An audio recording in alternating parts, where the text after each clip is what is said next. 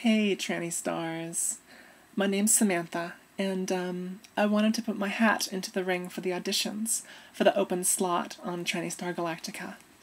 Uh, I figure I might as well tell you a little bit about myself. Uh, this will be my first YouTube video that I've ever uploaded. Um, I've been watching Tranny Star for a really long time and thought about starting my own channel a couple of times, but just never, never got up the courage. So now I now I've got the courage, uh, and I think that Tranny Star would be a really good incentive for me to kind of not be afraid to be out on the internet. Um, what else about me? I'm definitely a tea person. I don't really drink coffee unless I've had a really bad morning, but most days I just settle with water.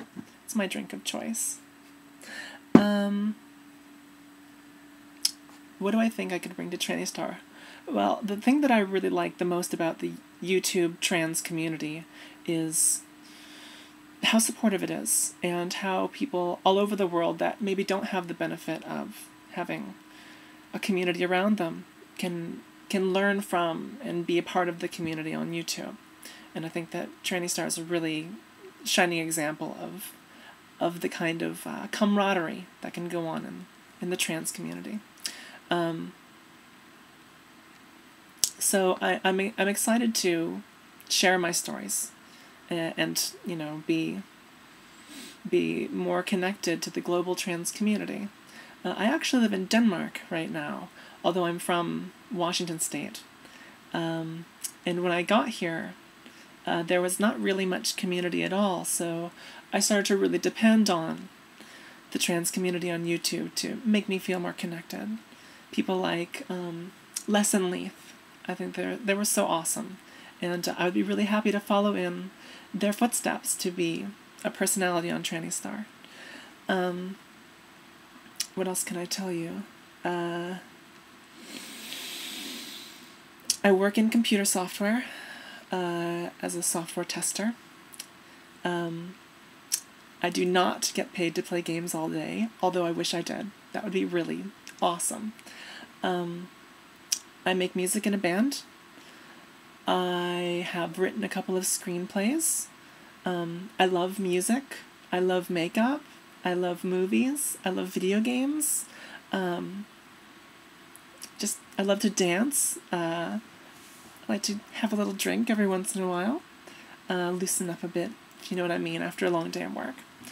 Um, think that's about enough of an introduction for now. Um, but to prove that I've got the stuff, I thought that I might go ahead and answer this week's topic or provide my input on this week's topic. Um, what are the unexpected gifts and treasures that you've received or experienced uh, in your transition? So, for me, I would think, I do think that the biggest gift by far has been I've really achieved this new connection with myself. Um, before I transitioned, I was very apathetic about so many things about life the way I looked, my health, my weight, you know, just. I just was the way I was, and I was very disconnected from myself. And since transitioning, I care about so much more. I care about myself. I care about my weight. I care about my health. I care about my happiness. And I feel so much more engaged every day in living. so it's like every day is a gift now. Whereas before it was like, yeah, well, time to get up and go to work, or time to deal with this, or time to deal with that, things that I don't give a shit about. But now I'm really happy to be alive. I'm really happy that I've transitioned, am transitioning. I try to live life to the fullest and all that BS but I, I really do. Um, I really have become a more positive person, I think, since transitioning, and more comfortable, at ease with myself. And those that I think is the is the greatest gift that I, I really wasn't expecting at all. It just just kind of happened. So I think that I'm gonna call that all for this audition.